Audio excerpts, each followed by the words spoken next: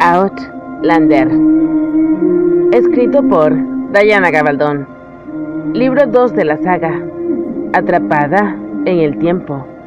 Les narra Concepción Reboso. Capítulo 11. Ocupaciones útiles. ¿Quién es ese hombrecillo tan extraño? Pregunté a Jamie. El hombre en cuestión avanzaba entre los grupos de invitados en el salón principal de la casa de Don Juan. Hacía una pausa para estudiar al grupo y luego encogía sus huesudos hombros y seguía andando. O se colocaba frente a un hombre o una mujer, llevaba algo en la cara de estos y pronunciaba alguna orden. En todo caso, sus actos causaban considerable hilaridad. Antes de que Jamie pudiera contestar, el hombre, un espécimen enjuto y vestido con sarga gris, nos vio y se le iluminó el semblante. Se abalanzó sobre Jamie como un ave de presa que desciende sobre un conejo. ¡Cantad! ordenó. ¿Cómo? Jamie parpadeó ante la pequeña figura al helado. Os he dicho que cantéis, contestó el hombrecillo. Con una caja de resonancia como esta, vuestra voz debe de ser formidable, milord. Ya lo creo, dije yo, divertida. Se le puede escuchar a tres manzanas a la redonda cuando está enfadado. Jamie me lanzó una mirada fulminante. El hombrecillo en cuestión caminaba a su alrededor, midiendo el ancho de su espalda y ojeándolo y golpeándolo. No sé cantar, dijo Jamie. Tonterías. Por supuesto que sabéis, milord. Seguro que tenéis una excelente voz de barítono, dijo el hombrecillo. Excelente. Justo lo que necesitamos. Os echaré unas manos y así que trata de imitar este tono. Extrajo hábilmente un pequeño diapasón de bolsillo, lo golpeó contra la columna y lo acercó al oído de Jamie. Jamie puso los ojos en blanco, pero se encogió de hombros y obedeció. El hombrecillo se apartó como si le hubieran disparado. ¡No! dijo sin poder creerlo. Me temo que sí. Así es, le dije. No sabe cantar. El hombrecillo miró de reojo a Jamie. Otra vez, incitó. Limitaos a escuchar y dejad que salga el mismo sonido. Paciente como nunca, Jamie lanzó ese la del diapasón y emitió un bime bemol y un re sostenido. No es posible, dijo el hombrecillo con una profunda desilusión. Nadie puede ser tan disonante, ni siquiera haciéndolo a propósito. Mm, yo sí, dijo Jamie alegremente, e hizo una cortés reverencia. Entonces, se había juntado una pequeña multitud de curiosos a nuestro alrededor. Luisa Juan era una de las grandes anfitrionas y sus salones atraían a la creme de la creme de la sociedad parisina.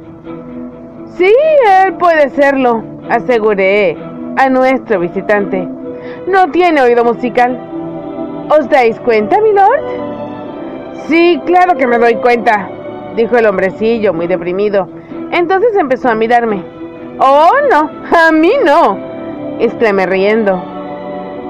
¿También carecéis de oído musical, madame? Comenzó a acercarse a mí. Eh, espere un momento. ¿Quién es usted? Es Herr Johannes Hertzmann Sassenach con voz y expresión divertida, Jamie se inclinó ante el hombrecillo. El maestro del canto del rey. Os presento a mi esposa, mi lord. Ella es Lady Proctorac, Herr Hesmond. Me dijo, señalándome a mí con la cabeza. Jamie ya conocía a todos los miembros de la corte, hasta el más insignificante.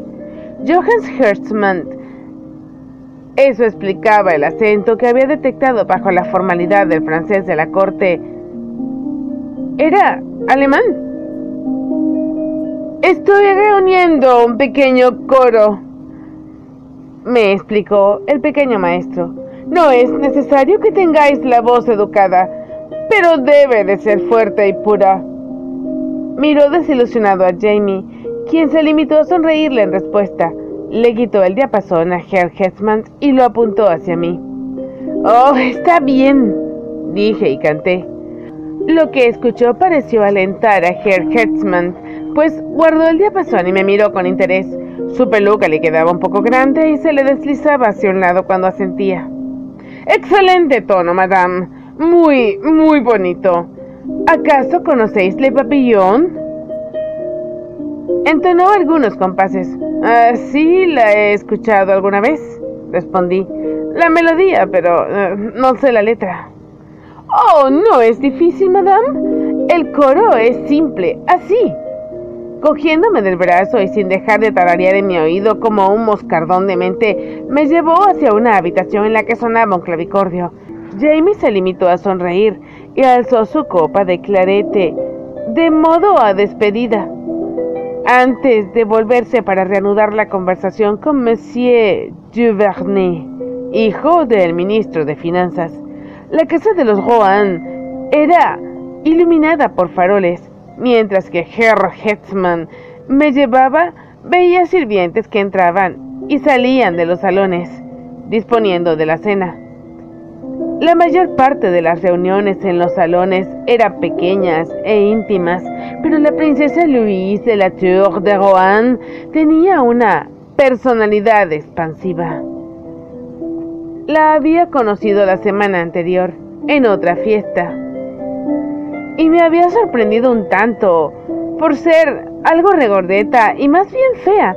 Tenía la cara redonda, los ojos azules claros, sin pestañas, un lunar pintado en forma de estrella. Era aquella dama que había incitado al príncipe Carlos a olvidar los dictados del decoro. Pensé, haciendo una reverencia en la fila de recibo. Sin embargo, era dueña de una vivacidad contagiosa y de una encantadora boca rosada. De hecho, la boca era su rasgo más atractivo. Enchanté, ma chère madame, había exclamado. Estoy encantada de poder conoceros por fin. Ah, tanto mi marido como mi padre han hablado bien de mi Lord Brotorak, pero nunca han dicho nada de su esposa. Me alegro mucho de que haya venido Debo decir, Bro Turak, o solo bastará con que diga Lady Turak. Ah, no estoy segura de cómo poder recordarlo. ¿Es escocés? ¡Oh, qué maravilla! En realidad, Turak significaba la torre que da al norte, pero si ella quería llamarme Lady que da al norte, a mí me daba lo mismo. De hecho, pronto se olvidó de todo y me llamó simplemente Macher Claire. Luis estaba con un grupo de cantantes en la sala de música conversando y riendo. Cuando me vio, atravesó el salón. ¡Oh, chère Claire! exclamó. ¿Llegáis justo a tiempo? Venga, venga, tiene que hablar con esta inglesita en mi lugar. La inglesita era muy joven, no ser quizás más de 15 años, con oscuros bucles brillantes y estaba muy ruborizada. Fueron las mejillas las que me hicieron recordar que la había visto en los jardines de Versalles, justo antes de la aparición de Alexander Randall.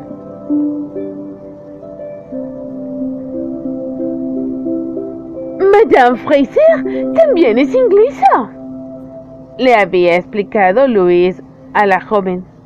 Pronto te habrá de sentir como en casa es muy tímida, ¿sabe? Me dijo a mí. Habla con ella. Convéncela de que cante con nosotros. Oh, me han asegurado de que tiene una preciosa voz. Muy bien, mis enfants, a. Y con las palmas. Dio unas cuantas palmaditas. Se marchó al otro extremo del salón, lanzando exclamaciones y adulando, maravillándose ante el vestido de una recién llegada. haciendo una pausa para acariciar al joven ligeramente obeso sentado ante el clavicordio, enroscándole los bucles mientras charlaba con el duque de Castellotti. Cansa el solo mirarla, ¿cierto? Le dije en inglés a la niña. La sonrisa diminuta apareció en sus labios y movió la cabeza un poco, pero no habló. Pensé que la ocasión era abrumadora. La fiesta de Luis, de la Tour, Rohan, me mareaba incluso a mí, y la pobre parecía recién salida de la escuela. Soy Claire Fraser, le dije, pero Luis no me ha dicho tu nombre. Hice una pausa para invitarla a que lo dijera, pero no respondió. Se puso más colorada aún, apretó los labios y cerró los puños a ambos lados de su cuerpo. Me alarmó un tanto su aspecto hasta que por fin apeló a toda su voluntad para poder hablar. Inspiró hondo, alzó la barbilla, como quien se dispone a subir una horca. Mm, mm, mm, mi, mi, mi nombre eh, es... Ah, eh, Empezó a decir, y de inmediato comprendí la razón de su dolorosa timidez. Cerró los ojos mordiéndose el labio inferior y luego volvió a abrirlos para intentarlo otra vez. Mary Cookins, logró decir por fin. Y, no sé cantar, añadió. Si antes me había parecido interesante, entonces la encontré aún más fascinante. De modo que aquella era la sobrina de Silas Hawkins, la hija del baronet, la prometida del vizconde de Marigny. Miré a mi alrededor a ver si estaba el vizconde, pero con alivio comprobé que no. No te preocupes, le dije poniéndome delante de ella para protegerla de la oleada de gente que llenaba la sala de música. No tienes que hablar si no quieres, ¿sabes? Aunque quizás convendría que intentaras cantar. Dije, pues se me acababa de ocurrir una idea. Una vez conocí a un médico especializado en tratamiento para la tartamudez. Decía que las personas tartamudas no lo hacen cuando cantan. Me dijo quien se abrió los ojos sorprendida y miré a mi alrededor y vi una alcoba cuyo cortinaje ocultaba un cómodo banco. Ven, le dije, puedes sentarte aquí, así no tendrás que hablar con nadie. Si quieres cantar, puedes salir cuando empecemos. De lo contrario, puedes quedarte aquí hasta que termine la fiesta. Me miró un momento y luego sonrió agradecida y entró en la alcoba. Me quedé cerca, conversando con los que pasaban para impedir que molestaran a la chica. Oh, está muy guapa esta noche, ma Era Madame Ramage una de las damas de la reina, una mujer mayor, majestuosa, que había asistido a las cenas de Rue Tramoulin un par de veces. Me abrazó con afecto y luego me aseguró que nadie nos observaba. Tenía la esperanza de verte aquí, querida, dijo, acercándose y bajando la voz. Quería... Quería aconsejarte que te cuides del conde Sargement Volviéndome a medias en dirección a su mirada, vi que el hombre de rostro delgado de los muelles de Havre entraba del brazo de una mujer joven y elegante. Aparentemente no me había visto. Y me volví rápidamente hacia Madame de Ramage. Que, um, um ella, um, uh, uh, quiero decir, um, la aparición del conde me turbó hasta el punto que me ruboricé intensamente.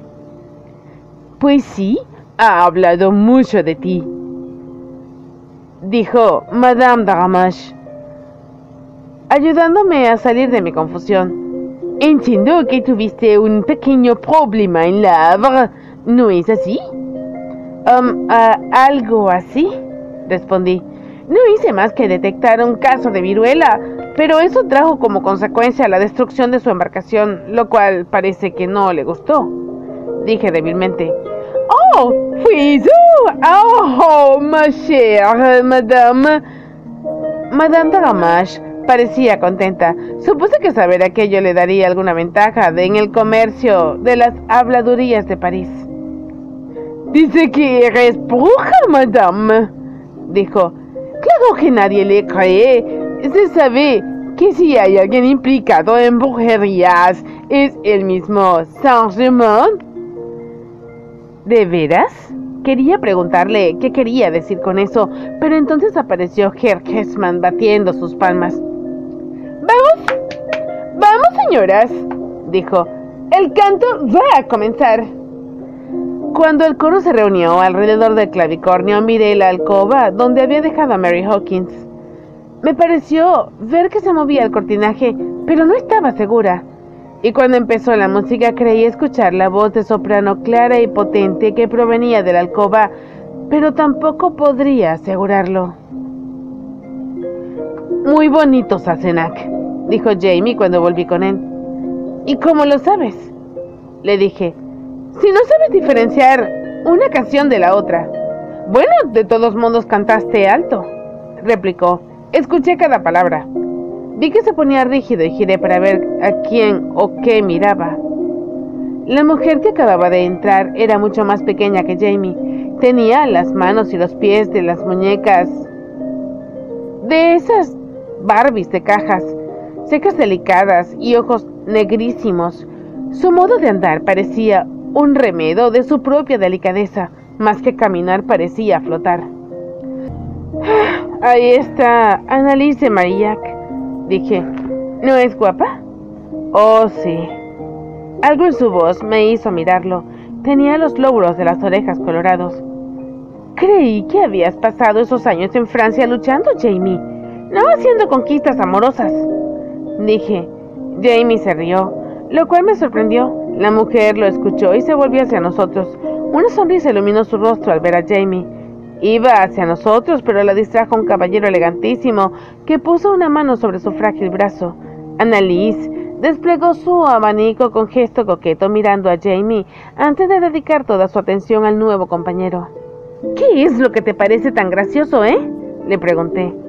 De repente se dio cuenta de mi presencia y sonrió.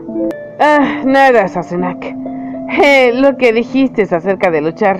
En realidad me batí en duelo por Annalise de Marillac. Tenía 18 años.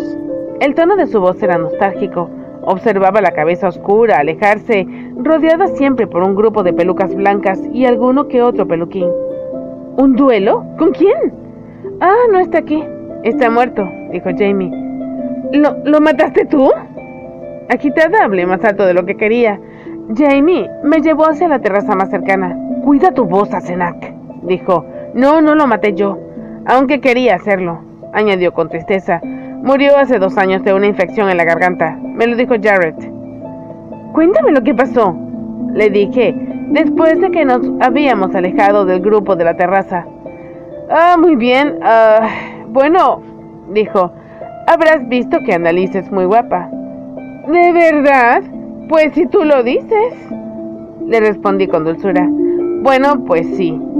Yo no era el único joven que así lo creía, ni el único en perder la cabeza por ella. Ah, caminaba como en trance, pensando en ella, ¿sabes? La esperaba en la calle, con la esperanza de verla subir el carruaje.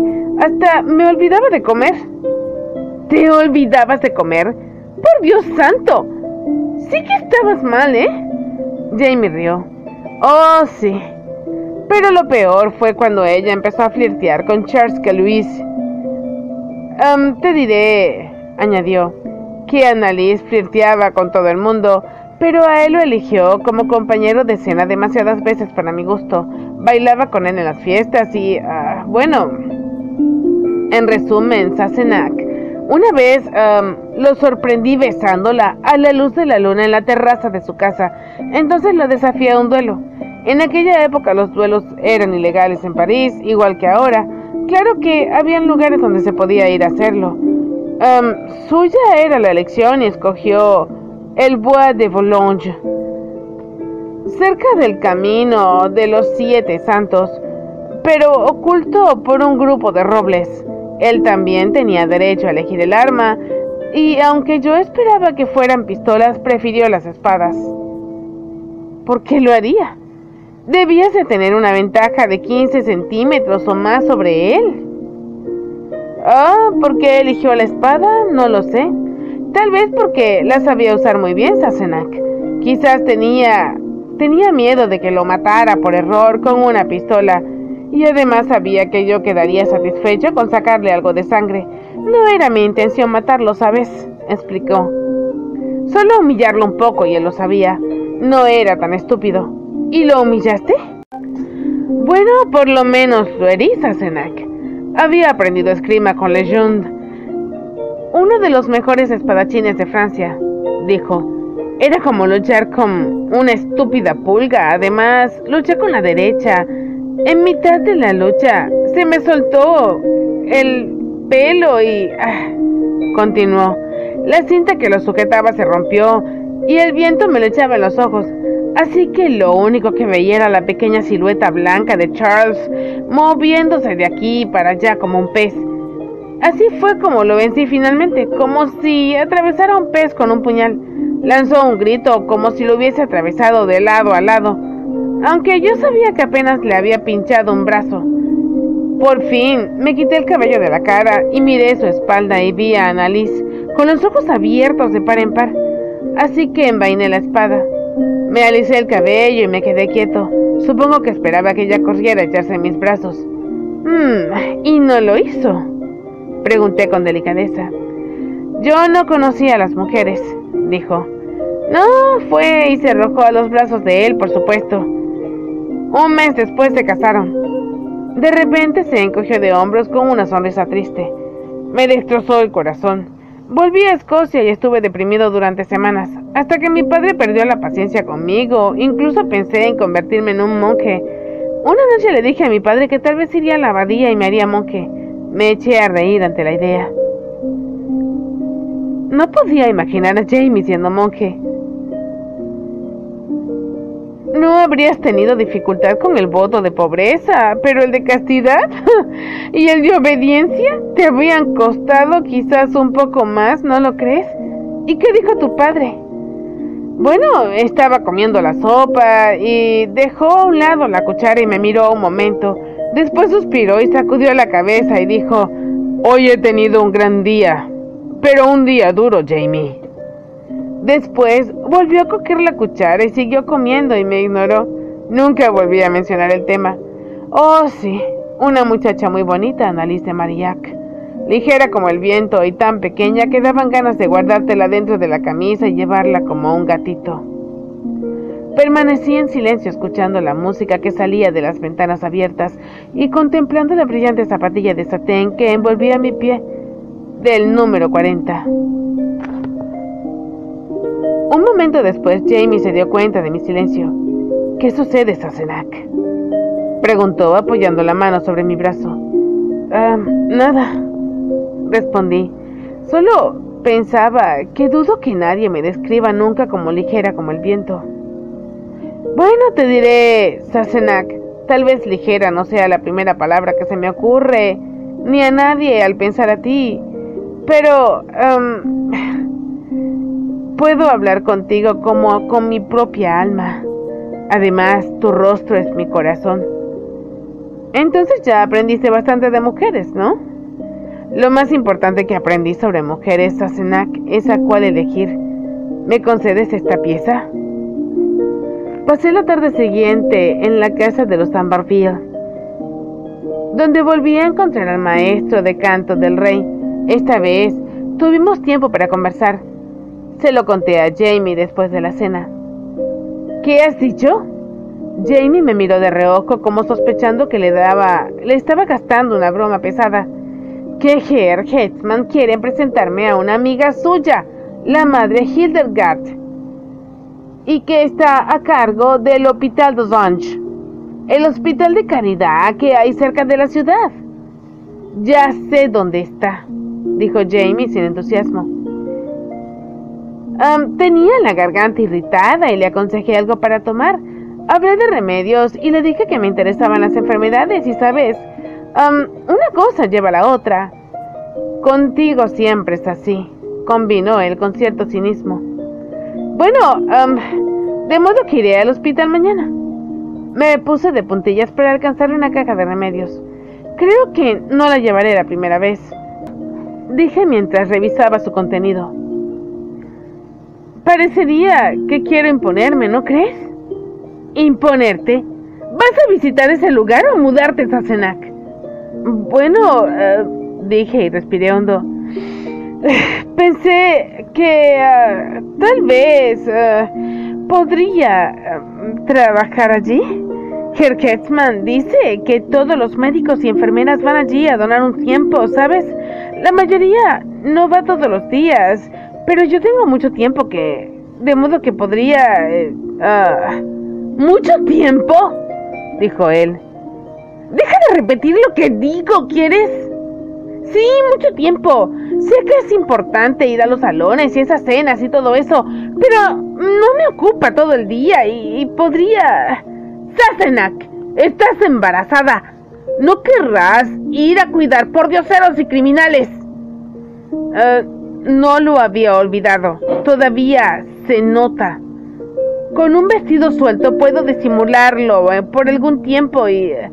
A excepción de las mm, náuseas matinales, estoy bien. Y no hay razón por la que no pueda trabajar durante algunos meses. Ninguna excepto que no lo permitiré. Como no esperábamos visitas aquellas noches, se había abierto la camisa al llegar a casa. Vi cómo empezaba a enrojecer. Jamie, sabes lo que soy, le dije. Eres mi esposa, me dijo.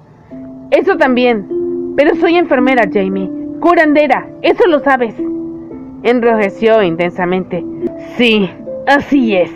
Y porque me curaste cuando estuve herido, debo pensar que está bien que atiendas a mendigos y prostitutas. Sassenach, no sabes la clase de persona que van al Lopito Dosonge. ¿Y qué diferencia hay? Pregunté. Podrías contraer una enfermedad contagiosa. Ten al menos consideración por nuestro hijo, ya que no la tienes por mí. ¿Qué clase de persona crees que soy? ¿Una irresponsable? La clase de persona que abandona a su marido para ir a jugar con la escoria, dijo, ya que me lo preguntas. ¿Abandonarte? es abandonarte, el tratar de hacer algo útil en vez de perder el tiempo en el salón de Avambir viendo cómo se atiborran de pasteles Luida Guan y todas sus compañeras, ¿ah? Escuchando poemas y músicas horribles. No es hacer algo útil cuidar de tu propia casa. Estás casada conmigo, Sasenak. ¡Ah! A otro con ese cuento, ¿eh? Repliqué. ¿Acaso es suficiente ocupación para ti estar casado conmigo? No veo que estés aquí todo el día. Y con respecto a la casa, no digas tonterías. ¿Tonterías? ¿Qué son tonterías? inquirió. Idioteces. En otras palabras, no seas ridículo. Madame Vionet se ocupa de todo y lo hace mucho mejor que yo. Era evidente que decía la verdad, que durante un momento no dijo nada. Me fulminó con la mirada, moviendo la mandíbula. ¿Ah, sí? ¿Y si te prohíbo ir? ¿Me lo prohíbes? No, respondió. No te lo prohíbo. Su voz tembló un poco.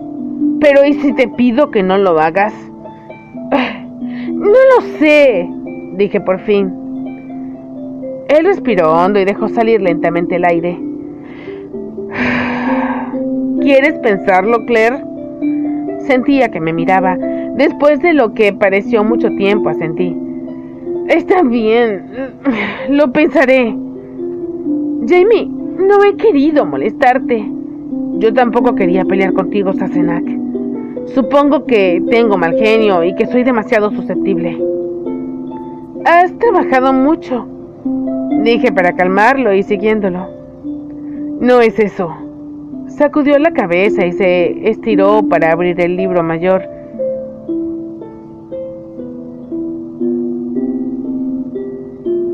El negocio de vino va bien. Es mucho trabajo, sí, pero no me importa, es, es lo otro. Señaló un montón de cartas de la abad Alexander, del conde del mar y de otros jacobitas prominentes, todas llenas de preguntas encubiertas, vagas promesas y expectativas contradictorias. Me siento como si estuviera luchando contra plumas, exclamó. Podría luchar contra algo real, pero algo concreto. Pero esto...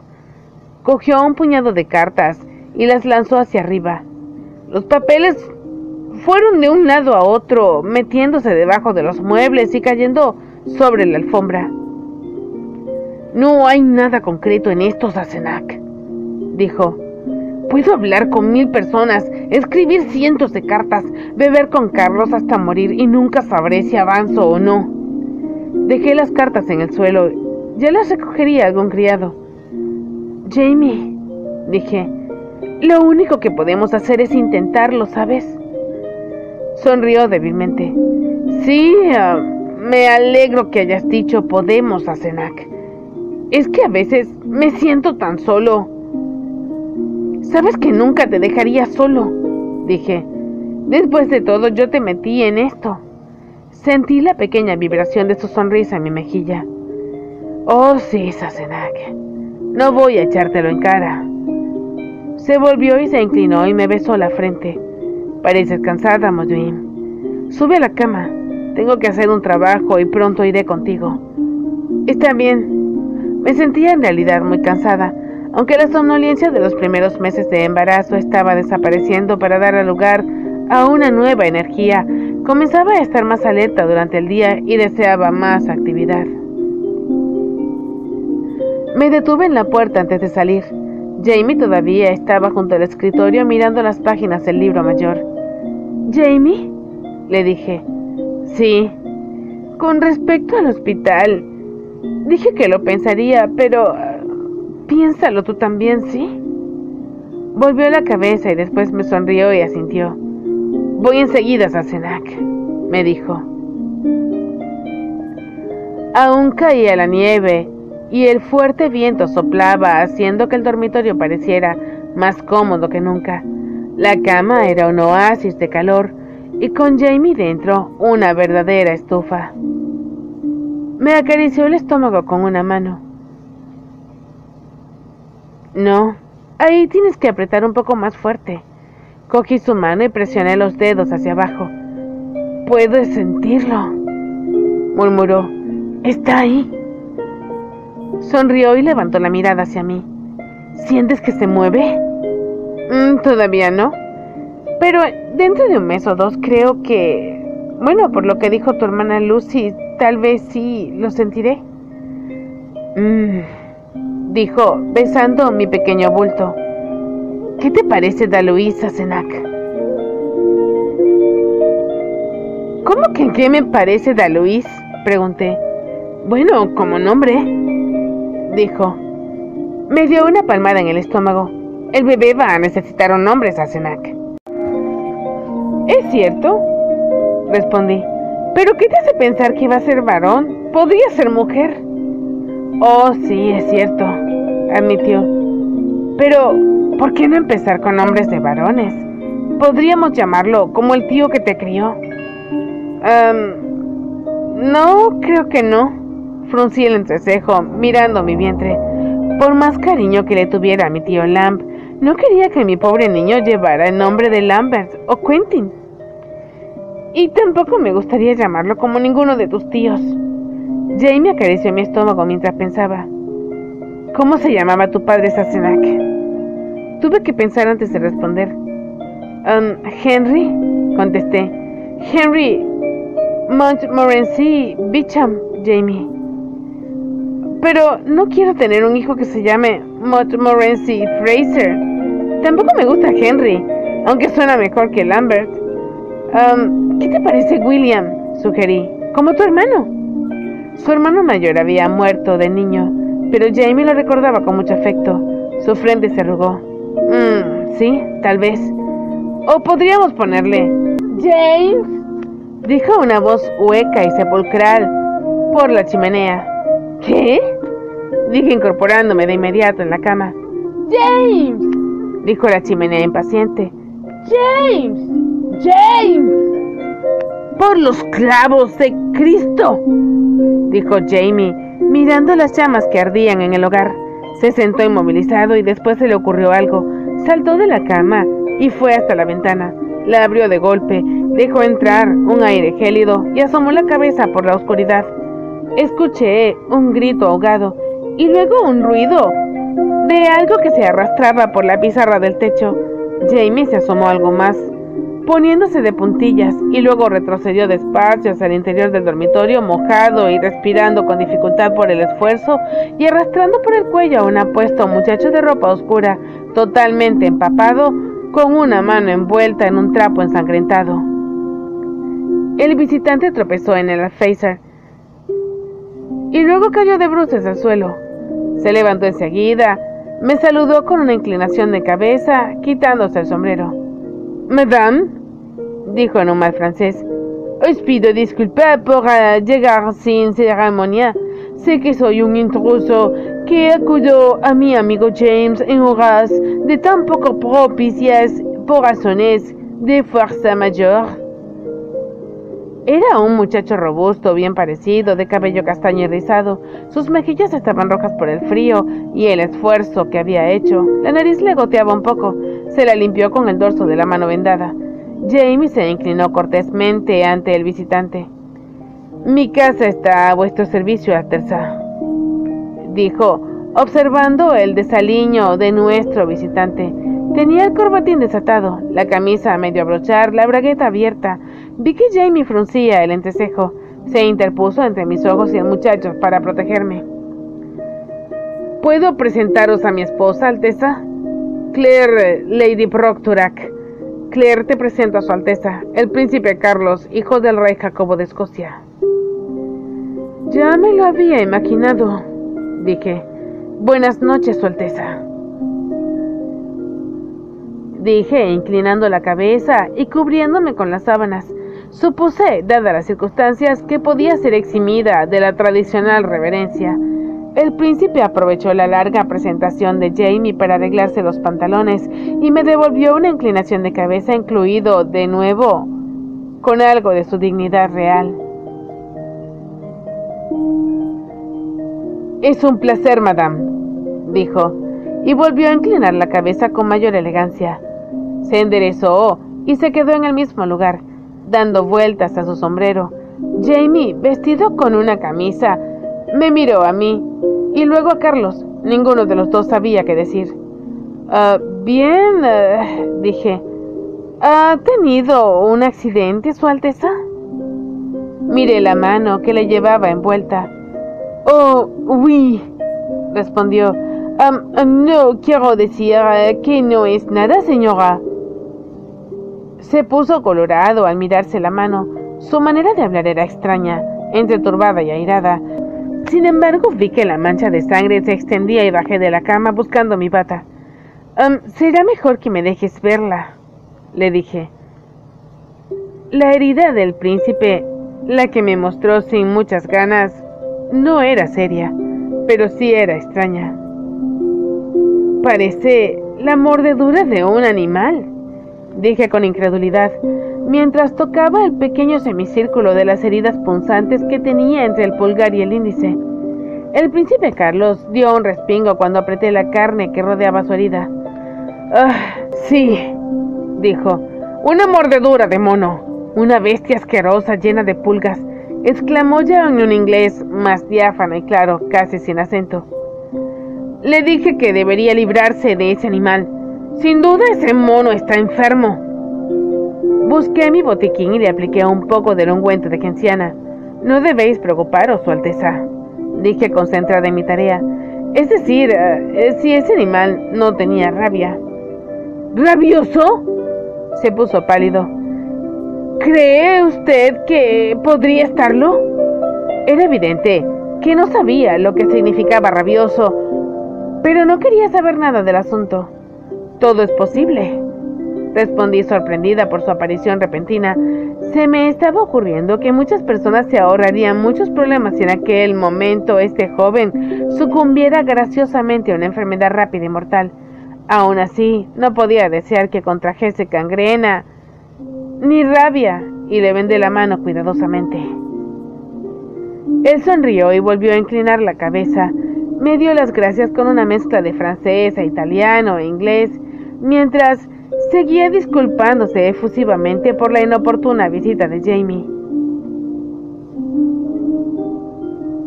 Jamie ya se había puesto la falda y lo condujo al piso superior para invitarlo a tomar una copa. El frío de la habitación había atravesado mi bata y mi camisón, de modo que volví de inmediato a la cama y me cubrí con el edredón hasta la barbilla. De modo que aquel era nuestro príncipe.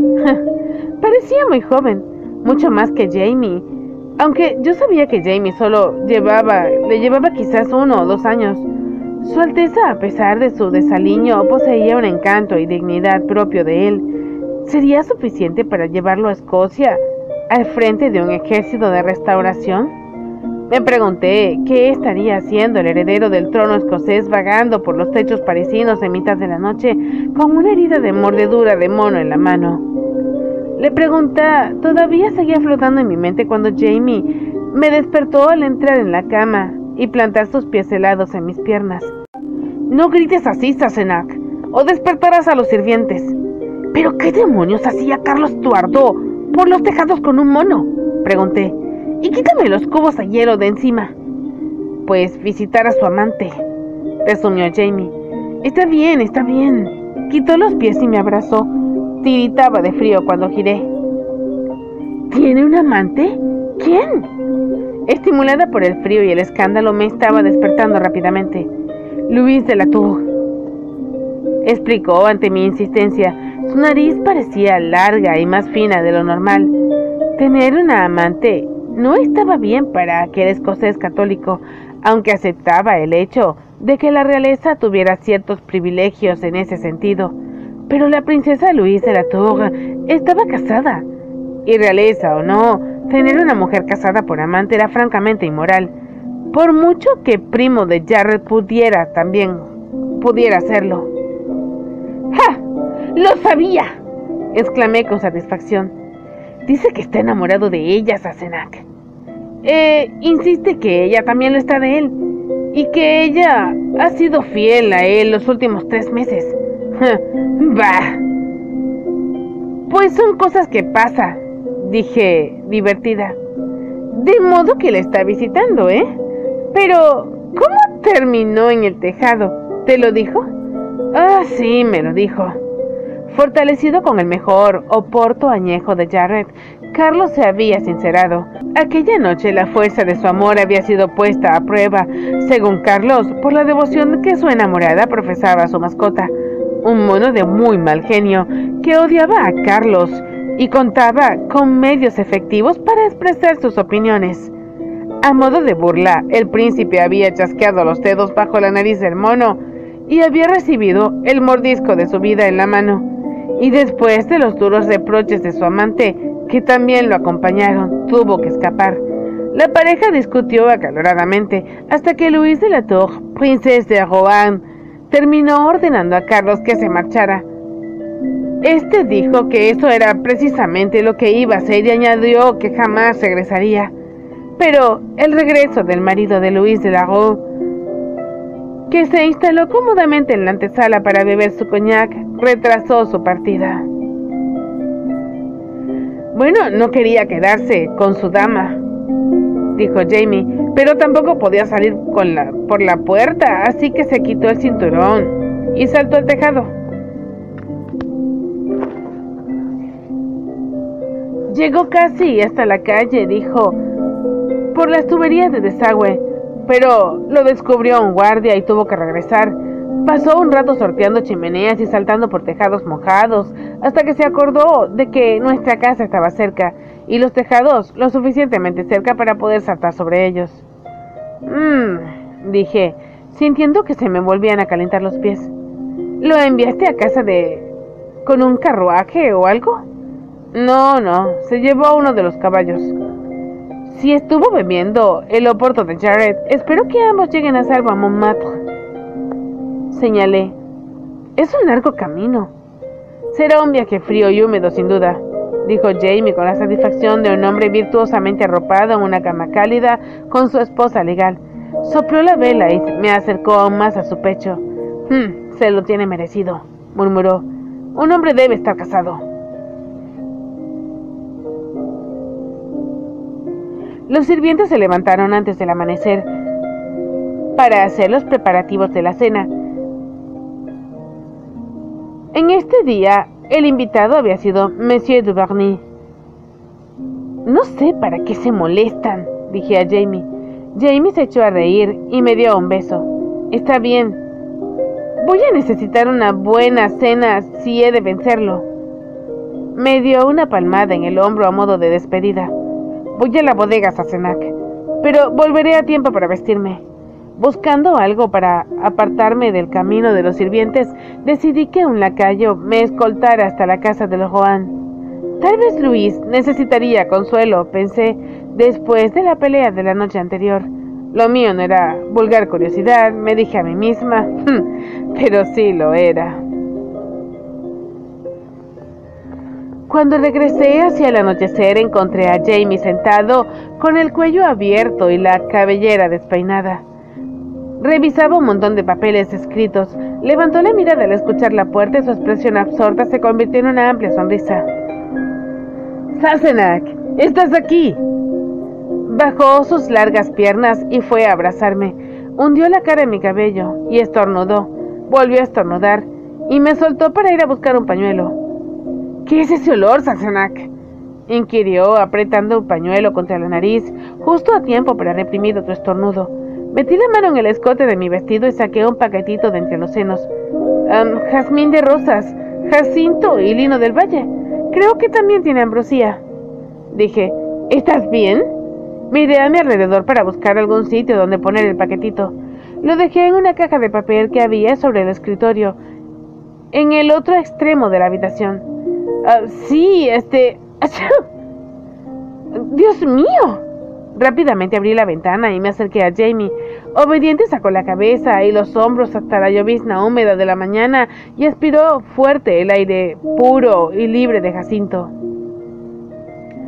Ah, así está mucho mejor, dijo aliviado, un poco constipado, cuando volvió a meter la cabeza.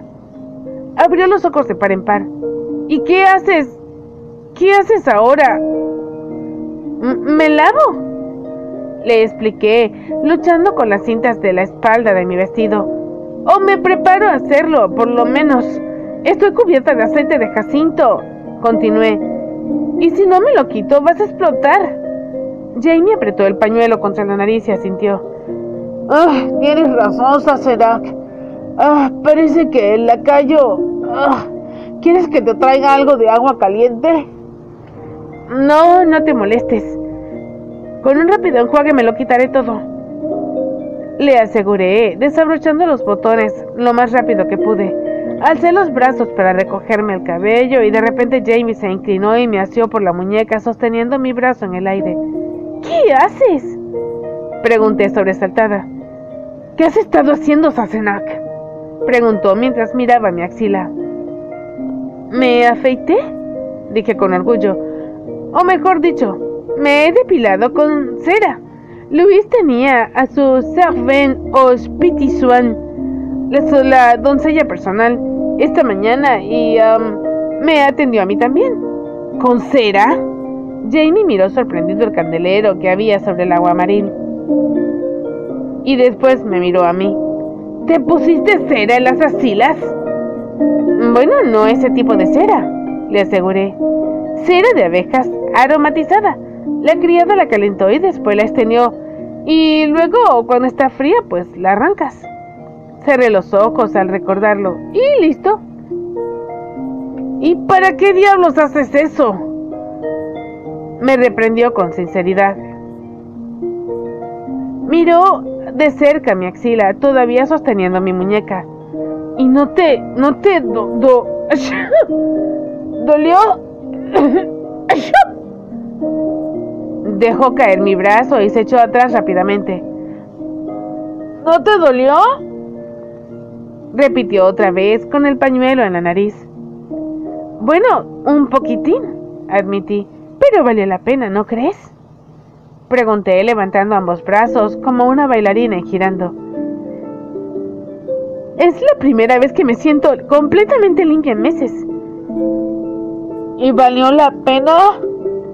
dijo algo aturdido. ¿Qué tiene que ver la limpieza con que te hayas arrancado todos los pelos de debajo de los brazos? Aún continuaba con el pañuelo sobre su nariz. Un poco tarde me di cuenta de que ninguna de las mujeres escocesas que yo había conocido se depilaba. Más aún, era casi seguro que Jamie nunca había estado en contacto con la superficie limpia de vellos de una parisina de clase alta para saber que muchas ya lo hacían. Bueno, dije, de repente me di cuenta de lo difícil que es para un antropólogo tratar de interpretar las costumbres más singulares de una tribu primitiva. Así huelo menos, sugerí. ¿Pero qué tiene de malo tu olor, Sassenach? preguntó irritado. Por lo menos olía a esa mujer, no a esa eh, Flor. ¿Qué crees que soy? ¿Un hombre o un abejorro? ¿Puedes lavarte, Sassenach, para que pueda acercarme un poquito más a ti sin tener que usar este pañuelo? Cogí un paño y empecé a limpiarme el torso. Madame Lasseur, la criada de Luis, me había hablado mucho acerca de esto y me pasó todo el aceite aromatizado por todo el cuerpo. Deseé que saliera con facilidad. Me resultaba desconcertarte ver a Jamie caminando de un lado a otro, lisqueando el aire y mirándome como un lobo que camina alrededor de su presa.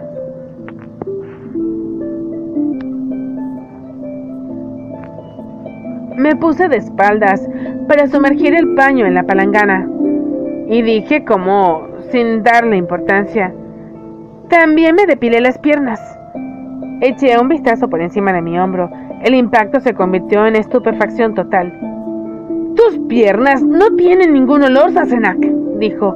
Al menos que hayas estado caminando hundida hasta las rodillas en un establo. Me di la vuelta y levanté la falda hasta las rodillas, exhibiendo las curvas de la pantorrilla y la espinilla. Pero tienen mucho mejor aspecto, ¿no lo crees? señalé. Todas suaves, no como Harry el gorila peludo. Miró sus propias rodillas velludas, ofendido. ¿Es que soy un gorila? Tú no, yo, dije irritada. Mis piernas tienen mucho más vello del que tenían las tuyas. Bueno, así debe ser, tú eres hombre, le respondí. Inspiró aire como para responder. Después lo dejó escapar otra vez sacudiendo la cabeza y murmurando algo para sí en gaélico. Volvió a sentarse en la silla y me observó con los ojos entrecerrados, murmurando para sí de vez en cuando, y decidí no pedirle que me tradujera nada. Después de realizar la mayor parte de mi baño en medio de lo que podía llamarse una atmósfera cargada, decidí intentar la reconciliación. Podría haber sido peor, ¿sabes? Dije pasándome el paño por las piernas. Luis se quitó todo el pelo del cuerpo. Semejante afirmación hizo que volviera a hablar en inglés, por lo menos temporalmente. ¿Qué? ¿Se quitó todos los pelos de allá abajo? dijo horrorizado. Ajá, respondí. Todos los pelos. Madame Laureur le quitó lo que le quedaba allí con cera y lo depiló. ¡Virgen Santísima!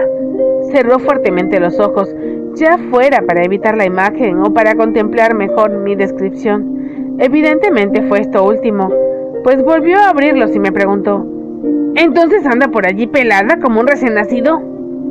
Ella dice, um, respondí con delicadeza, que a los hombres les resulta muy estimulante. Las cejas casi le llegan a la línea capilar. Bonito recurso para alguien con frente tan alta. Me gustaría que dejaras de murmurar en gaélico, dije. No entiendo una sola palabra de lo que dices. Mejor así, Sassenach, respondió. Mejor así. Fin del capítulo 11. Capítulo 12. L'hôpital de Anges. Está bien, dijo Jamie en el desayuno. Me señaló con la cuchara advirtiéndome. Ve, pues, pero llevarás a Mortag de escolta, además del lacayo. El vecindario cercano a la catedral es muy pobre. ¿Escolta? Me enderecé en mi asiento, empujando el tazón de avena que había estado observando con poco entusiasmo. Jamie, ¿quieres decir que no te importa que visite l'Hôpital de Sange? No sé si quiero decir eso con exactitud, dijo, pero creo que me sentiré peor si no lo haces. Y si trabajas en el hospital, no pasarás todo tu tiempo con Luis de Juan. Supongo que hay cosas peores que estar con mendigos y criminales, sentenció. Por lo menos un hospital del que no volverás a casa con tus partes íntimas afeitadas. lo intentaré, le aseguré. Había conocido a muchas enfermeras, algunas de ellas realmente buenas, que habían convertido su trabajo en una vocación. La madre Hildegard había convertido el proceso con resultados impresionantes. Hildegard de Gascogne era la persona más adecuada que podía imaginarse uno para estar en el cargo de un lugar como en el, Hospital de Zonge. De casi un metro ochenta, su flaca y huesuda contextura envuelta en una lana negra asomaba sobre sus hermanas enfermeras como un espantapájaros cuidando el sembrado de calabazas. Conserjes, pacientes, monjas, enfermeros, novicias, visitantes, boticarios, todo el mundo era absorbido por la fuerza de su presencia.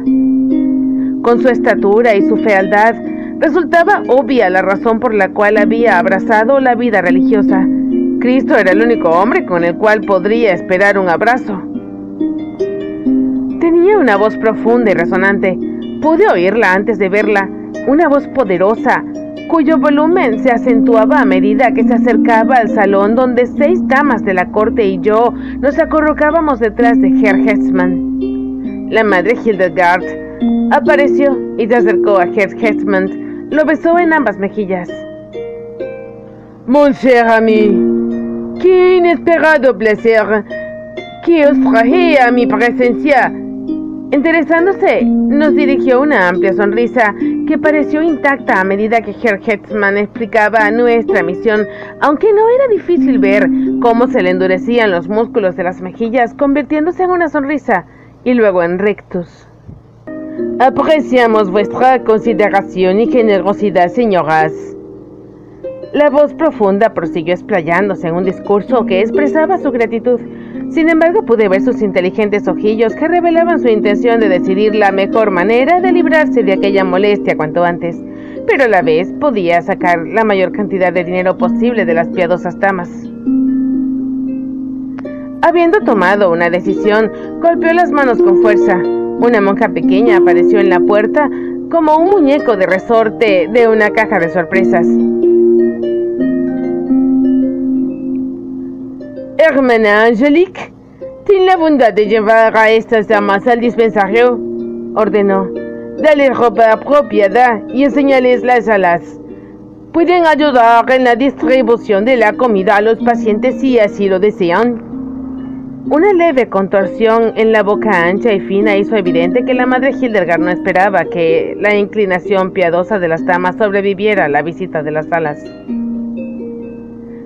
La madre Hildegard era una mujer astuta, conocedora de la naturaleza humana. Tres de las damas lograron atravesar la primera sala. Con sus casos de escrófula, sarna, eczema, sífilis, epitediasis, maloliente y finalmente decidieron que su inclinación caritativa se vería satisfecha con una donación al hospital. Luego volvieron a toda prisa al dispensario para quitarse las túnicas serpillera. En el centro de la siguiente sala, un hombre alto y delgado con una chaqueta oscura estaba realizando lo que parecía ser una habilidosa amputación de una pierna. Particularmente habilidosa, pues el paciente no estaba sedado sobre de ninguna manera posible y era detenido por dos fornidos enfermeros y una monja robusta que estaba sentada sobre el paciente. Por fortuna, sus oscuras hendiduras tapaban el rostro del desgraciado. Una de las damas contuvo el vómito cuando me giré. Lo único que vi fue el trasero bastante ancho de las dos supuestas samaritanas atascadas, cadera contra cadera, en la puerta que llevaba al dispensario y a la libertad. Miré a un lado y me sorprendió agradablemente encontrar a Mary Hawkins. Todavía estaba allí, un poco más blanca que las vendas, a decir verdad. Era de un tono más bien gris las vendas, pero ella estaba blanca y algo mareada, pero todavía seguía allí. ¿Prefieres irte? Le pregunté con amabilidad. Estoy segura de que la madre Hildegard puede pedirte un carruaje. Miré por encima del hombro el pasillo oscuro. Me temo que la condesa y Madame Lambert ya se han marchado. Mary tragó saliva apretando las mandíbulas con decisión. No, dijo. Sí, sí, si tú te quedas, yo también. Ya pensaba yo quedarme. La curiosidad y el deseo de participar en el funcionamiento del hospital superaban la lástima que pudiera sentir por la sensibilidad de Mary Hawkins. La hermana Angelique estaba caminando y siguió antes de darse cuenta de que nos habíamos detenido. Regresó y se quedó esperando con paciencia, sonriendo, como si esperara que también nosotras saliéramos huyendo. Me incliné sobre el camastro en el que yacía la mujer delgada, exánime, bajo una sola manta. Sus ojos me miraron con interés, pero no fue la mujer lo que me había atraído la atención, sino un recipiente de vidrio en forma extraña que había en el suelo junto al camastro. El recipiente estaba lleno de un fluido amarillo, orina indudablemente. Me sorprendí. Sin un análisis químico y ni siquiera papel de tornasol, ¿de qué serviría poder tener una muestra de orina en estos tiempos? Pensando en los diversos exámenes que se sometía a la orina, tuve una idea. Cogí con cuidado el recipiente, haciendo caso omiso a la exclamación de la protesta de la hermana Angelique. Olfateé. Resultó que yo era lo que yo pensaba. Debajo de las emanaciones amoníacales, el fluido tenía un olor dulzón, como la miel ácida. Vacilé, pero había solo una manera de asegurarme. Con una muesca de asco, mojé la punta del dedo en el líquido y me lo llevé a la lengua. Mary Hawkins estaba atónita, tosió un poco, pero la hermana Angelique me miró con repentino interés. Coloqué la mano sobre la frente de la mujer. Estaba fresca, sin fiebre. ¿Tiene sed, madame? Pregunté a la paciente en francés.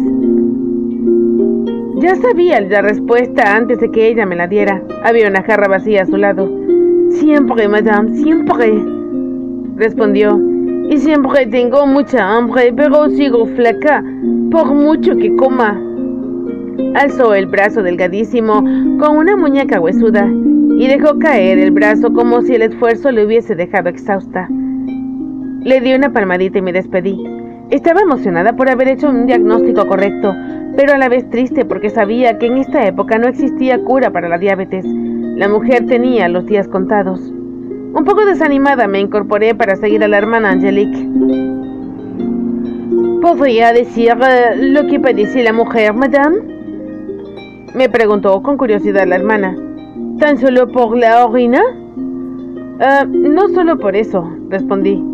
Pero sí, lo sé, tiene... Ah, por el amor de Dios, ¿cómo era el nombre que le habrían puesto en esta época? tiene la enfermedad del azúcar. Nada de lo que come la alimenta y su sed es tremenda. Produce enormes cantidades de orina. La hermana Angélica sentía, su rostro reflejaba una intensa curiosidad. ¿Y sabéis si se recuperará, madame? ¿Si se pondrá bien? Ah, no, no mejorará. No vivirá más de un mes. Oh, eso fue lo que dijo Monsieur Parnell. ¿Y a qué se dedica cuando no está aquí? Pregunté. La monja frunció el entrecejo sorprendida. Pues creo que es fabricante de armaduras y joyero. Pero cuando viene aquí suele oficiar de eurocopista. Sentí que mis orejas se enarcaban. ¿Urocopista? Dije, incrédula. ¿De veras existen? Oui, madame. Él dijo lo mismo cuando ah, vio a la pobre mujer. Nunca había conocido a una mujer que conociera de la ciencia de la uroscopía, añadió la hermana Angelique, observándome con fascinación. Bueno, existen más cosas en el cielo y en la tierra de las que usted pueda imaginar, hermana dije con amabilidad. La hermana asintió con seriedad, haciéndome sentir un poco avergonzada por mi agudeza. Es verdad, madame. ¿Queréis ver al caballero de la última cama? Creo que padece del hígado. Continuamos de una cama a la otra, haciendo todo circuito en la sala. Vi enfermedades que solo había visto en los libros de textos y heridas de todas las clases, desde chichones producidos engrescas de borrachos hasta un cartero cuyo pecho había sido aplastado por un barril. Me detuve ante todas las camas, haciendo preguntas a los pacientes en condiciones de responder. Escuchaba a Mary que respiraba por la boca y me volví para comprobar que estaba apretándose la nariz. Al continuar y concluir la gira, la hermana Angelique me dedicó una sonrisa irónica. ¿Y bien, madame? ¿Todavía deseáis servir al Señor ayudando a los desafortunados? Yo ya me estaba remangando el vestido. Tráigame una palangana de agua caliente, hermana, y jabón, le dije. ¿Cómo te ha ido, Sassenach? Quiso saber Jamie. ¡Horrible! Respondí con una ancha sonrisa. Ah, lo has pasado bien, ¿no? Jamie, no, no sé, me ha gustado tanto sentirme útil otra vez. Limpié suelos y alimenté a los enfermos con cereal y cuando la hermana Angelique no me miraba, logré cambiar un par de vendajes mugrientos y abrí un absceso. Mm, ¡Qué bien! dijo. ¿Y te acordaste de comer en medio de tanta frivolidad? no, ya que lo mencionas, no, respondí sintiéndome culpable, pero también me olvidé de sentir náuseas.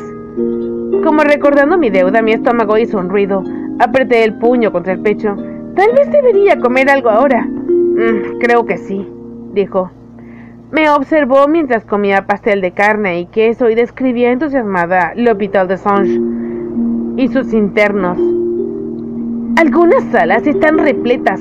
Hay dos o tres personas por camas. Es horrible. Pero, ¿no quieres un poco? Está bueno. Miró el trozo de pastel que le estaba extendiendo. Si crees que puedes dejar de hablar de los dedos cangrenosos, tal vez sí. ¿Y cómo te fue a ti, querido? Pregunté con modestia. L'Hôpital de Songe se convirtió en un refugio para mí. La manera directa de las monjas y pacientes era un gran alivio tras las intrigas y habladurías de la corte.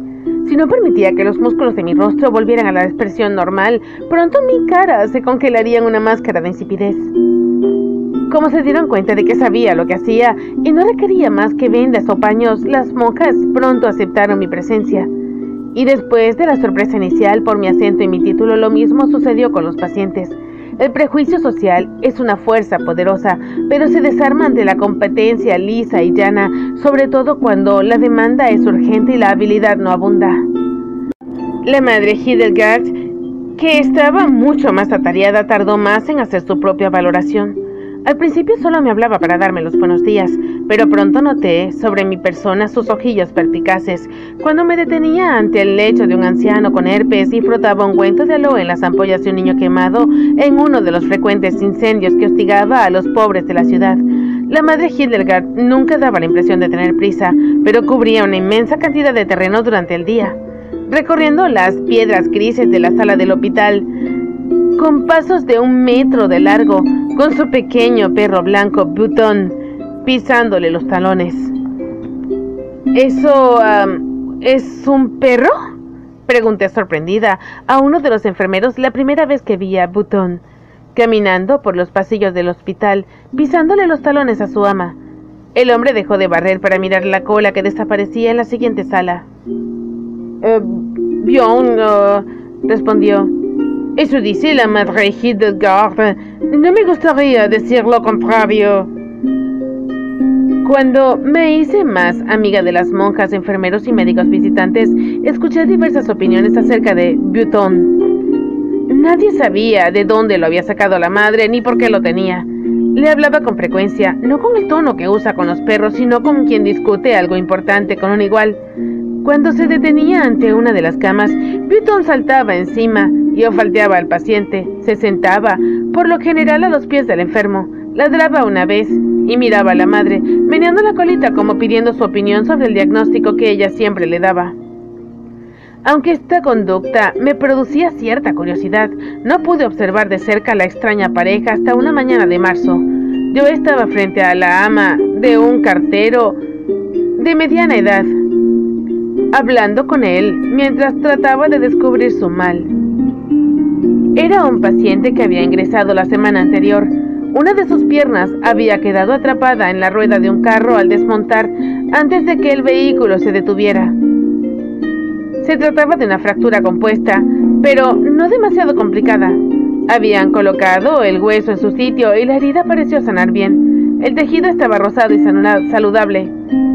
No tenía mal olor, ni rayas rojas, ni blandura extrema, nada que explicara por qué el hombre seguía con fiebre, si tenía también la orina oscura y hedionda, como si hubiera una infección. Bonjour, madame.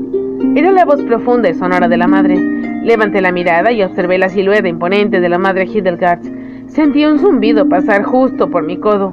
Era Butón, que saltó sobre el colchón con un ruido sordo que hizo que el paciente lanzara un gemido. ¿Qué te parece? preguntó la madre al perro. Yo no sabía si estaba hablando mi amigo al perro, pero aproveché el beneficio de la duda y le dije lo que pensaba. de modo que debe de haber una segunda fuente de infección, dije con mi conclusión.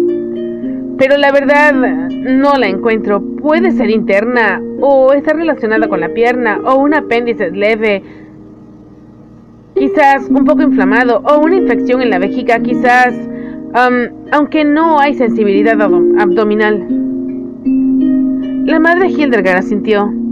Es una posibilidad, desde luego. ¡Butón! El perro dio la cabeza hacia su ama, quien a su vez señaló con la barbilla al paciente. ¡A la bush, Butón! A la boca. Lo había ordenado. El perro se acercó el hocico negro y redondo a la cara del cartero. El hombre levantó los párpados, pero la imponente figura de la madre Hildegard anuló toda posibilidad de protesta. ¡Abre la boca! ordenó la monja. Tal fue la fuerza de su voz que el hombre obedeció, aunque los labios le temblaron ante la proximidad de Butón. Era evidente que al ser besado por un perro no estaba seguramente dentro de sus planes. No, no es allí, dijo la madre pensativa observando a Butón. Mira en la otra parte, Button, pero con cuidado, recuerda que tiene una pierna rota. Como si hubiera entendido la última palabra, el perro empezó a olfatear al paciente, examinó las axilas, puso las cortas y gruesas patas sobre su pecho y olisqueó la entrepierna. Cuando llegó a la pierna fracturada, saltó cuidadosamente sobre ella antes de apoyar el hocico contra los vendajes. Volvió a la región de la entrepierna, Después de todo es un perro, pensé. Olfateó la parte superior del muslo y luego se sentó y ladró una vez meneando el rabo. Ahí está, dijo la madre Hiddelgard, señalando una pequeña costra de color pardo justo debajo del pliegue inguinal. Pero está casi sana, protesté. No hay infección, ¿no? La alta monja pasó una mano por el muslo del paciente y apretó. Sus dedos musculosos hicieron un hoyo en la carne pálida y viscosa, y el cartero lanzó un alarido. ¡Ah! exclamó satisfecha. ¿Un foco de putrefacción? Y así era, en efecto. La costra estaba blanda en un extremo y había pus debajo. Un corto examen en el que la madre Hildegard sostuvo al hombre de la pierna y el hombro reveló el problema. Una larga astilla de madera que se soltó de la rueda se había incrustado profundamente en el muslo. No se le había prestado atención debido a la insignificancia de la herida. Ni siquiera el paciente lo había notado. Sin embargo, la pierna le dolía terriblemente, a pesar de que la herida superficial había curado bien. La herida más profunda se había infectado y formado un hueco de pus alrededor de la astilla, enterrada en el tejido muscular donde no se manifestaba ningún síntoma por lo menos para los sentidos humanos. Trabajé con el escarpelo para agrandar la herida superficial. Utilicé un forceps para dar un tirón suave pero firme y extraje la astilla de 7 centímetros de largo llena de sangre y légamo. No está mal, Butón, le dije, reconociendo su habilidad. El perrito feliz sacó la lengua rosada y me olisqueó. Sí, es buena, dijo la madre Hiddelgard esta vez no hubo duda de que se refería a mí, ya que Butón era el macho. El perro se inclinó hacia adelante y olfateó mi mano, y luego me lamió los nudillos como reconociendo a un colega. Tuve que contener el impulso de limpiarme la mano en el vestido. Sorprendente, dije muy seria. «¿Uy?» concedió la madre Hildegard, sin darle importancia, pero con una nota inconfundible de orgullo. También es muy bueno para localizar tumores debajo de la piel. Y aunque no siempre sé lo que encuentra en el olor del aliento y de la orina, tiene cierto ladrido que indica, sin duda alguna, la presencia de un trastorno estomacal. En aquellas circunstancias no tenía razón de dudarlo. Incliné la cabeza hacia Butón y cogí un frasco de planta de San John para limpiar la infección. Ha sido un placer contar con tu asistencia, Butón. Puedes trabajar conmigo cuando quieras. Muy sensato de tu parte, comentó la madre Hildegard. Muchos médicos y quiroquions que trabajan aquí no están tan inclinados a aprovechar sus dotes. Pues eh, no quería menospreciar la reputación de nadie, pero el modo en el que miré a Monsieur Boleroux, que se encontraba al otro lado de la sala, debió decirlo todo. La madre Hildegard se echó a reír. bueno, tomamos de Dios lo que nos envía, aunque a veces me pregunto si los enviará para que no se metan en problemas en otra parte. Sin embargo, nuestro cuerpo de médicos es mejor que nada, muchísimo mejor que nada, madame. Eh, gracias. Sin embargo, me he estado haciendo una pregunta. Continuó la madre Hidalgar mientras me observaba aplicar la medicación. ¿Por qué solo atiendes a los pacientes con heridas y huesos rotos? Veo que evitas a los pacientes con manchas de tos o fiebre. Y sin embargo, es más común que les maîtresses traten esas cosas. No veo ni creo haber visto nunca una quiroquión mujer. Les maîtresses eran las curanderas sin licencia, en su mayor parte procedentes de las provincias que se especializaban en hierbas y cataplasmas y amuletos. Les maîtres de sage-femme eran las parteras de rango superior en el conjunto de las curanderas populares. A algunas se las trataba con más respeto que a los médicos licenciados y los pacientes de las clases más bajas las preferían, pues eran más capaces y mucho menos caras. no es por falta de interés, le aseguré. Es que estoy embarazada y no puedo exponerme a ninguna enfermedad contagiosa por el bien del niño. Los huesos rotos no son contagiosos. Oh, me pregunto, um, dijo la madre Hiddelgard, al ver entrar una camilla. Esta semana tenemos muchísimos de estos pacientes. Um, no te vayas. Me hizo una seña para que volviera.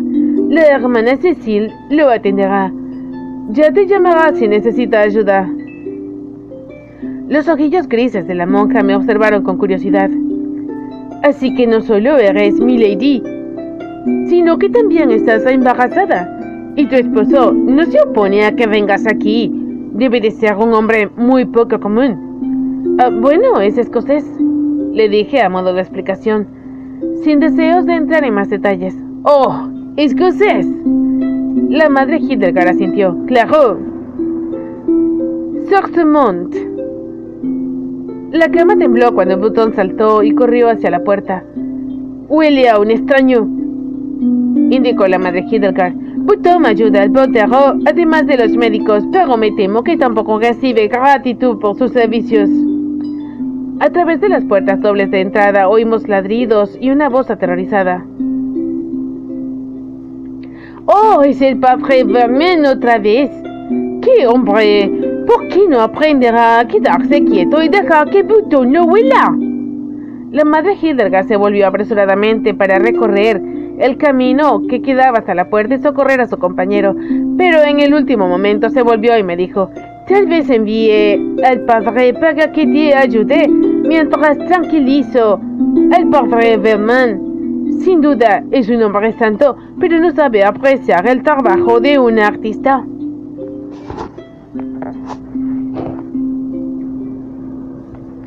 Cuando entré a casa, Jamie estaba acostado en la alfombra de la sala.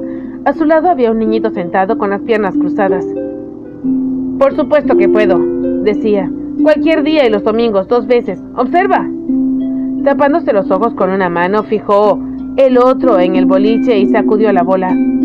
Esta saltó del palo y describió un arco y cayó con un golpe seco. ¿Ves? dijo. Se sentó y entregó el boliche al niño. Toma, inténtalo. Sonrió, metió la mano por debajo de mi falda y me cogió el tobillo a modo de saludo. ¿Te diviertes? pregunté. Ah, Todavía no, respondió mientras me pellizcaba el tobillo. Te estaba esperando, Sassenach. Los dedos largos y cálidos se deslizaron hacia arriba, acariciando mi pantorrilla. Tenía un pegoste de barro seco en la mejilla y la camisa y la falda escocesa estaban sucias. ¿Ah, sí? Dije, tratando de liberar mi pierna. Pensé que tu amiguito era la única compañía que necesitabas. El muchacho seguía tratando de meter la bola con un ojo cerrado. Al fallar los dos primeros intentos abrió el ojo y escudriñó el juguete como si lo estuviera desafiando a no funcionar. No, no, no, Fergus, no hagas trampa, por favor, dijo Jamie, cuando volvió y miró que el niño no cerraba del todo el ojo. Juega limpio, ¿eh? El niño comprendió el significado, aunque no las palabras, y sonrió avergonzado. La mano de Jamie dio un tirón invisible y tuve que acercarme a él para evitar caerme. Ah, bueno, dijo Jamie. Fergus aquí presente es un hombre de mucho talento y una buena compañía cuando un hombre ha sido abandonado por su esposa y tiene que buscar distracción solo. Los dedos tocaron con delicadeza mi rodilla. Claro que no es un compañero ideal para pasar el tiempo como se me ha ocurrido. ¿Fergus? Pregunté, mirando al niño e intentando hacer caso omiso de la mano de Jamie. Era un muchacho de nueve o diez años, de huesos delicados, llevaba ropa limpia y muy usada, y era muy, pero muy francés, con la piel clara y macilenta y los ojos grandes y oscuros de un niño de la calle. Bueno, su verdadero nombre es Claudel, pero hemos llegado a la conclusión de que no resultaba muy varonil, ah, por lo que hemos cambiado por Fergus. Un nombre apropiado para un guerrero. Al escuchar su nombre, o nombres, el muchacho levantó la mirada y sonrió con timidez. Esta es Madame, explicó Jamie en francés. La puedes llamar Milady. Y no creo que pueda pronunciar Proctorac, añadió mirándome. Ni siquiera Fraser. Milady bastará, le dije. ¿Podrías preguntar por qué? ¿Por qué? bueno, ¿por qué Fergus quieres decir? Eso es lo que quiero decir precisamente. No estaba segura de la extensión de su brazo, pero su mano se deslizaba lentamente por detrás de mi muslo. Jamie, quítame la mano de encima enseguida. Los dedos soltaron hábilmente la liga que sostenía mi media y ésta se deslizó por mi pierna y se asentó alrededor del tobillo. ¡Bestia! le dije. ¿Ah? ¿Bestia? ¿De qué clase? ¡Ah! ¡Perro callejero! le espeté, tratando de inclinarme para levantar la media sin caerme. El niño, después de echarnos un vistazo breve y poco interesado, reanudó sus intentos con el boliche. Con respecto a Fergus, continuó, es ahora mi empleado. ¿Para qué? Ya tenemos a un muchacho que pule los cubiertos y las botas y otro para el establo. Jamie asintió. sí, pero nos faltaba un carterista. O nos faltaba. Inspiré hondo y dejé escapar el aire lentamente. claro, y supongo que no debo preguntar para qué necesitamos un carterista, ¿eh? Para robar cartas a Senac, respondió Jamie con calma. Oh, dije comenzando a darme cuenta. No logré que el príncipe me diera nada inteligente. No hace más que suspirar por Luis de la Tour o apretar los dientes y maldecir porque han vuelto a pelearse. En cualquiera de los casos, lo único que quiere es emborracharse y mal estar perdiendo la paciencia con él. No logro sacarle nada a Sheridan.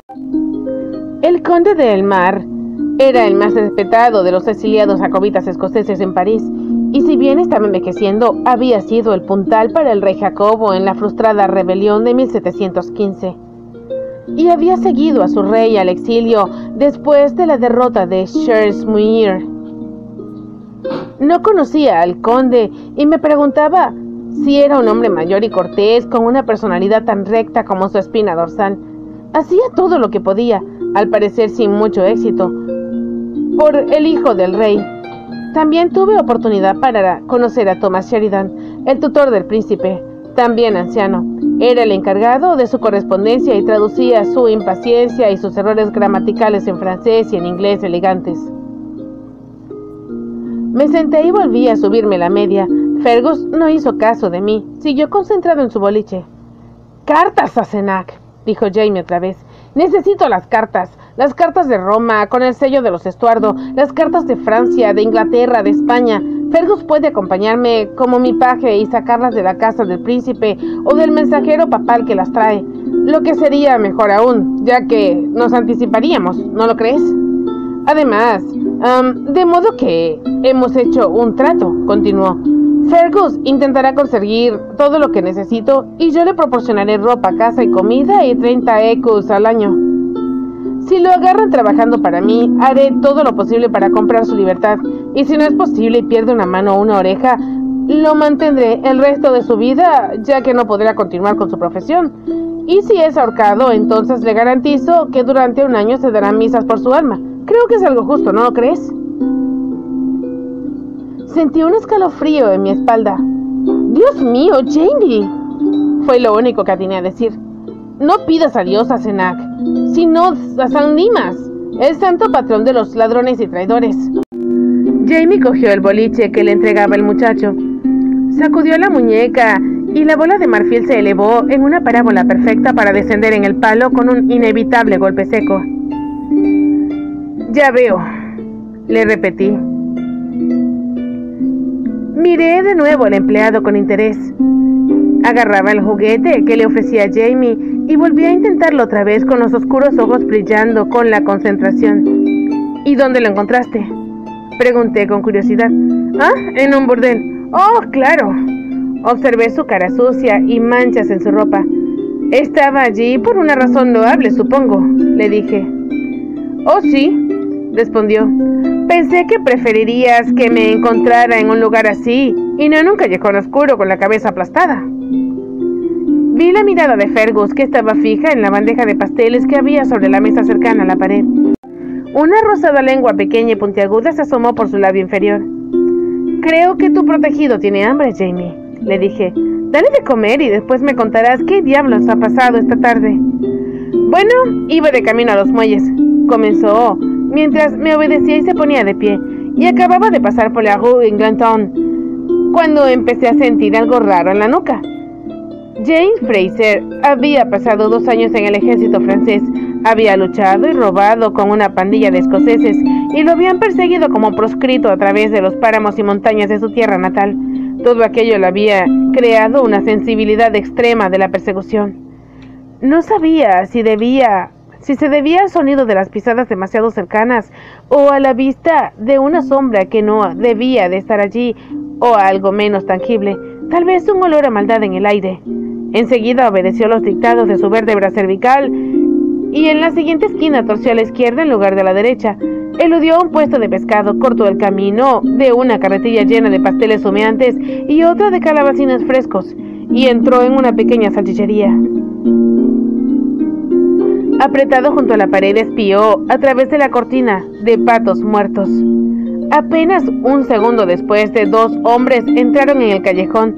Caminaban muy juntos y miraban rápidamente de un lado a otro. Todo trabajador parisino llevaba las marcas de su oficio. Jamie no tardó en detectar el olor salado de los hombres.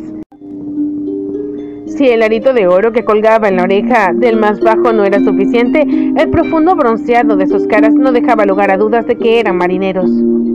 Acostumbrados a la superficie estrecha de los barcos y de las tabernas del puerto, los marineros rara vez caminaban en línea recta. Aquellos dos entraron en el callejón lleno de gente como anguilas por las rocas, escudriñando a mendigos, sirvientas, amas de casa y mercaderes.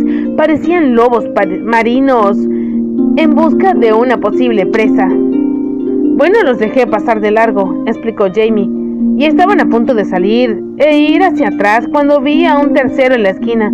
Aquel llevaba el mismo uniforme de los otros dos, el pelo grasiento, un cuchillo y un palo. Bajo y robusto, el hombre se quedó en la boca del callejón. Era evidente que estaba montando guardia mientras sus secuaces buscaban en el callejón. Así que me quedé pensando qué hacer, dijo Jamie frotándose la nariz. Estaba seguro de mi escondite, pero la tienda no tenía salida trasera y sería visto en cualquier momento cuando saliera. Miró hacia abajo reflexionando y alisando la tela carmesí de su falda. Un bárbaro pelirrojo tenía que destacar. ¿Y entonces qué hiciste? Pregunté. Fergus, ignorantes a nuestra conversación, se estaba llenando los bolsillos de pasteles y de vez en cuando hacía una pausa para dar un mordisco a otro. Jamie vio lo que yo observaba y se encogió de hombros. Ah, seguramente no está acostumbrado a comer. Déjalo, explicó. Está bien, respondí. Pero continúa, ¿qué hiciste? Bueno, compré una salchicha, explicó. Una Dunedin, para ser exactos. Hecha de pato con especias, jamón y carne de venado, hervida y rellena y secada al sol. Una salchicha Dunedin medía 45 centímetros de un extremo a otro y era tan dura como la madera. No podía salir con la espada desenvainada, explicó Jamie, pero tampoco me gustaba la idea de pasar junto al hombre sin nadie que me protegiera y con las manos vacías. Con la salchicha en los brazos y escudriñando a la multitud que pasaba, Jamie salió del callejón y se dirigió hacia donde se encontraba el guardián. El hombre lo miró bastante tranquilo, no parecía tener malas intenciones. Jamie había pensado que se había equivocado por su premonición original. No hubieras visto aquel destello en los ojos del guardián al mirar algo detrás de Jamie, obedeciendo a los instintos que había conservado vivo hasta el momento a Jamie, se inclinó hacia adelante y derribó al guardián y le dio de bruces contra las mugrientas piedras del callejón.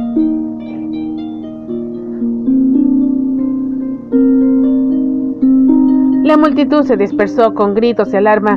Jamie se levantó a tiempo para ver el cuchillo que le habían lanzado temblando en las tablas de un puesto. Ah, si había tenido alguna duda de que era a mí a quien querían, ya no lo pensé más, dijo con voz seca. Creo que le rompí la nariz, dijo pensativo. De todos modos se echó hacia atrás y salí corriendo por la rue Pelletier. Los banderantes se dispersaron asustados al ver al escocés con la falda ondeando al viento. Por los gritos de aquellos, Jamie se dio cuenta de que aún lo perseguían. Aquella parte de la ciudad rara vez era vigilada por la Guardia del Rey y la multitud ofrecía poca protección excepto por simple obstrucción que estorbaba a sus perseguidores. Nadie iba a interceder por Jamie en un asunto violento o a favor de un extranjero. Bueno, la rue Pelletier no tiene salida y necesitaba por lo menos llegar a donde pudiera desenvainar la espada y tener una pared a mi espalda, explicó Jamie. Así que fue empujando las puertas antes de que de las que pasaba hasta que una de estas se abrió.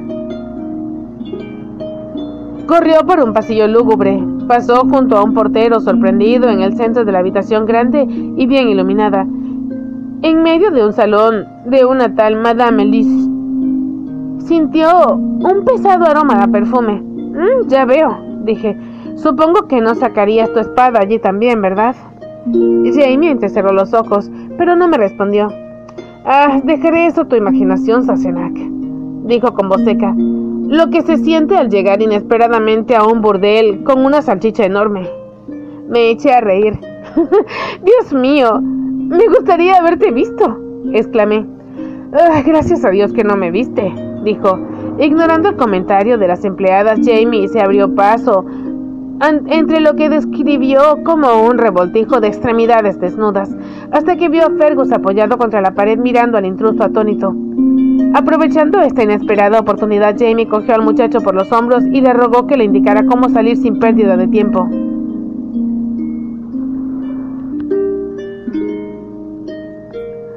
Podría escuchar el alboroto en el pasillo, continuó. Y supuse que todavía me perseguían. No quería pelear por mi vida en medio de un montón de mujeres desnudas. Sí, veo que la idea es abrumadora. Coincidí, frotándome el labio inferior. Pero evidentemente el niño te ayudó a salir. Sí, no vaciló ni por un momento, Sassenach. Por aquí, monsieur, me dijo, y subimos unas escaleras y atravesamos por una habitación y salimos por una ventana un tejado. Jamie miró con cariño a su nuevo empleado. ¿Sabes? observé. Algunas esposas no creerían ni media palabra de esta historia. Jamie abrió los ojos asombrados. ¿No? ¿Por qué? Posiblemente porque no están casadas contigo. Me alegro mucho de que hayas escapado con tu virtud intacta, pero por el momento me interesan más los hombres que te perseguían. En aquel momento no tuve mucho tiempo para pensarlo, respondió Jamie, y ahora que lo tengo, no sé quiénes eran ni por qué me estaban siguiendo. ¿Crees que querían robarte? El dinero en efectivo era transportado desde las bodegas del barco de Jarrett a una caja fuerte y con una importante guardia. Sin embargo, Jamie destacaba entre la multitud cercana a los muelles y sin duda se había corrido el rumor de que era un comerciante extranjero muy acaudalado, en comparación con la mayoría de los habitantes de aquel vecindario.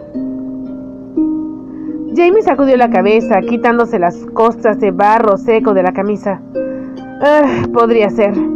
Pero no trataron de abordarme, lo único que querían era asesinarme. Su tono fue bastante casual, pero me hizo temblar de pies a cabeza. De modo que me senté en un taburete, me pasé la lengua por los labios resecos. ¿Quién, quién, quién crees que...? Eh? Se encogió de hombros, poniéndose serio, al pasar el dedo por el plato y lamerlo.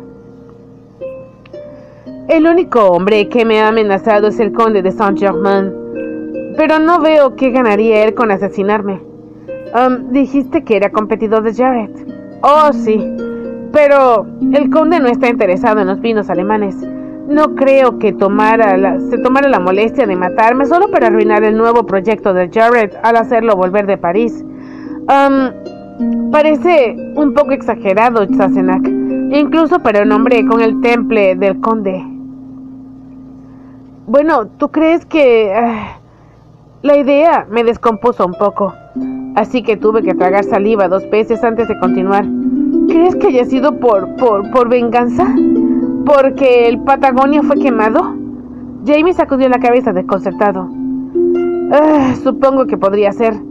Pero ha pasado mucho tiempo y de ser así, ¿por qué a mí? añadió. Fuiste tú la que lo enfureció, Sassenach. ¿Por qué no te mató a ti si esa era su intención? Mi posición empeoró ligeramente. ¿Tienes que ser tan lógico? Dije. Jamie vio mi expresión y sonrió de repente, rodeándome con un brazo para consolarme. No, Modwin. El conde tiene mal genio, pero no creo que haya tomado su molestia siquiera, ni el gasto para matar a ninguno de nosotros por venganza. Si eso lo ayudara a recuperar su barco, entonces sí, añadió. Pero tal como están las cosas, creo que pagar a tres asesinos a sueldo sería tirar el dinero a la basura. Me dio una palmadita en el hombro y se levantó. No, supongo que solo fue un intento de robo, ¿verdad? Sí, no te preocupes. A partir de ahora iré al puerto acompañado por Mortak. Se deslizó y quitó la última mancha de su falda. ¿Estoy bien para ir a cenar? Preguntó mirando su pecho. Ya debe estar lista. ¿El qué? Abrió la puerta y un rico aroma ascendió de inmediato de él. La salchicha, por supuesto, dijo con una sonrisa. No creerás que iba a tirarla. Fin del capítulo 12. Hasta la próxima y que tengan el mejor de sus días.